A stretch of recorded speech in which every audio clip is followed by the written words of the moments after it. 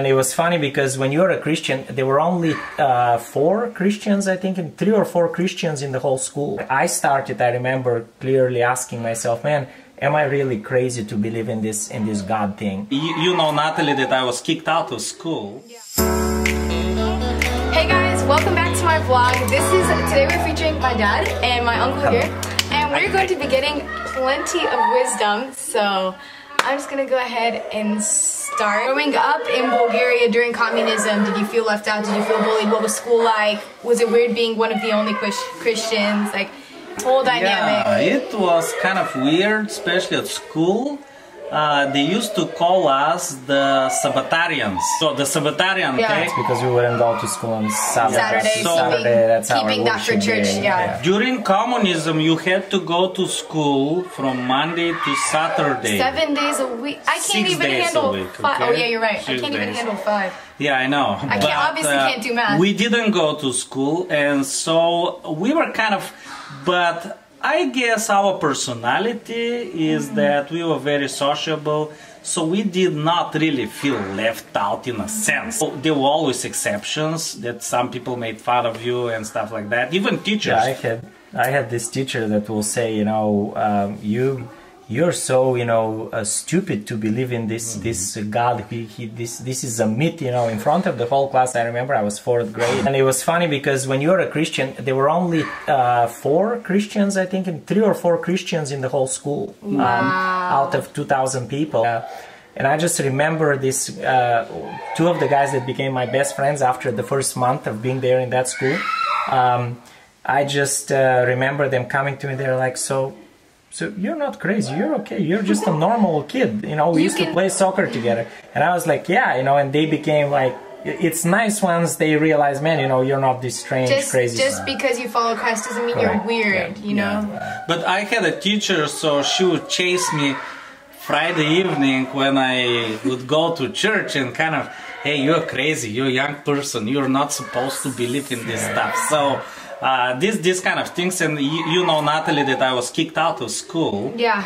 Uh, this is just before the change happened, so I don't Because think you that- didn't go to school on Saturday, right? because Not I didn't because go was to bad, school. but, yeah. I had all my good grades were A. I mean, our mom, you know, she was very strict with us. So, but uh, because and I was a musician, I represented the school. I went to competitions That's and good. things. But still, they uh, they decided the new principal. They changed the principal, so the lady decided to kick me out of school, and uh, because of the Sabbath. because So of your faith. you Which had is- these weird experiences, but we were normal. But you know, but in a sense, like that's almost. Do you feel like that? And I'm, I'm using the word persecution because, in a sense, like you know, like you're Oh, you're set up, yeah. you're set apart or mistreated because of your faith. Um, do you feel like that made you like from a young age? Because you said you were in fourth grade when that like like that first instance. Do you feel like that shaped your faith? Absolutely. In fact, you know, some people have these dramatic experiences. Now with me was different. I grew up in Adventist home. We used to go to church because your parents go. When the new principal invited, I mean, called me to her office and said, "You need to come next Saturday to school." I went home and I reported that to my dad. And I expected my dad to tell me, "No, you're not going." yeah. But I was 15, so my dad told me, Well, listen, now you're old enough. I want you to make that decision for Wow. yourself. Mm-hmm. So, in a way, I, I, I, I don't remember the date. I remember that it was Tuesday, Wow. and I remember that it was in February. Mm. But I didn't sleep that night because I had to make that decision For yourself. For myself, Not- to Jad used God. to, Jad used to do that a lot. You know, he used to say, "Well, you know, guys, I don't want you to be Christians, um, you know, or belong to like the Seventh Day Adventist Church, you know, um, or you know, I mean, just follow God because of me. You need to really think about it and make a decision because I don't want you to do tomorrow to say, well, we're doing it because of you, and that So- made a big difference. So that was my, in a way, conversion experience that shaped my life, You guys are and I never regret it because I mean, when I really did believe that God will do a miracle for me. I really believe that after the Saturday, God will do a miracle and they would not kick me out of school. but that didn't happen. but that didn't happen. Yeah. So I had a huge disappointment with God. yeah. And I remember walking home 20 minutes, 25 minutes, crying. Yeah. That's the only time when I told God, I don't love you. Because you had to move without your parents, like to this ah. like other city, just so you can still get an education. But you know, like what's crazy is when you, at least when you when you dedicate your life to God, you know, even when it doesn't make sense and even when it's not fair, look how far He's brought both of you to mm-hmm. places that I'm sure you never even dreamed of when you were. But that's the beautiful thing about God that you don't see Him, mm. okay? And you think that He has abandoned you. Mm. But in fact, He's always there next to you, no matter what you go through. So I have learned my lesson.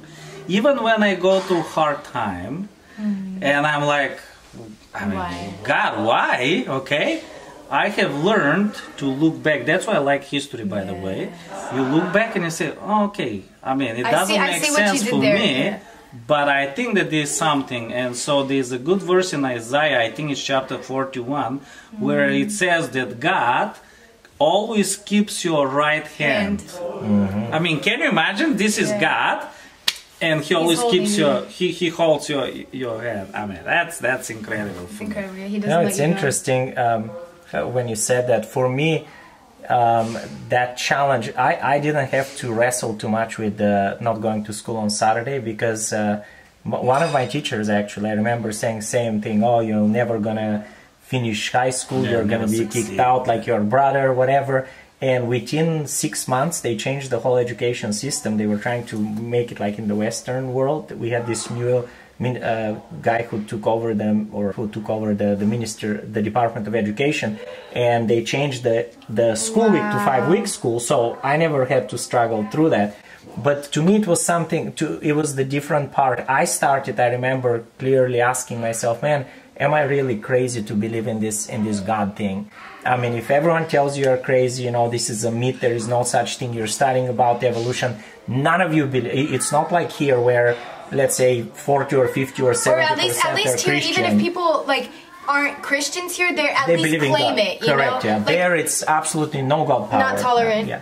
So I had to ask myself, man, does this make sense? So I started really looking into evolution, looking into what I knew about creation, reading about religion and, and all that. And finally, it was really cool because same thing, I'm to- I'll talk to my mm-hmm. dad and he's like, well, you have to look at the evidence and make and decide what makes more sense to believe in, you know? Um, and I, rea- I realized that it takes more faith to believe that there is no God, that we just happen out of it by, by chance, than to believe that there is a, um, an, um, a uh, um, uh, rational being out there, a creator God who made you. And that's really what, what shaped me to be a Christian. So I'm a Christian today, not because of my dad, I'm a Christian because I was convinced Yeah. that. Uh, Well, I feel like we're always told what to believe rather than taught to seek for truth for ourselves.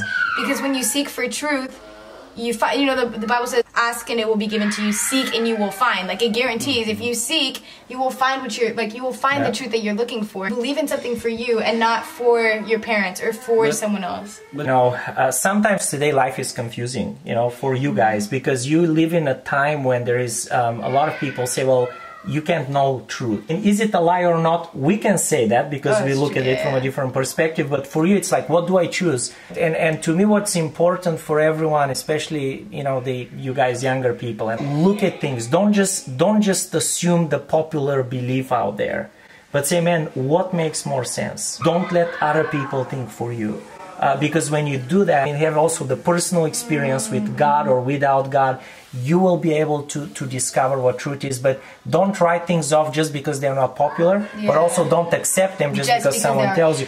But also we should remember, okay, that if you talk about God and spiritual things, things cannot be forced. They can't. That's right. Yeah. Can you imagine that I can, I mean, I as your uncle to force you to love someone?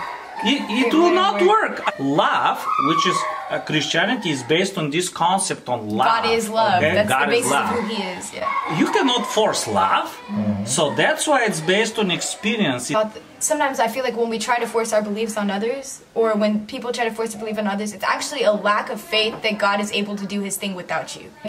to to feel like you have to be the one to to do the job is almost underestimating that God has enough power to work in people's lives. Then it comes to the point like, do I really believe if I have to be micromanaging someone else's faith? Yeah. Mm-hmm. So yeah.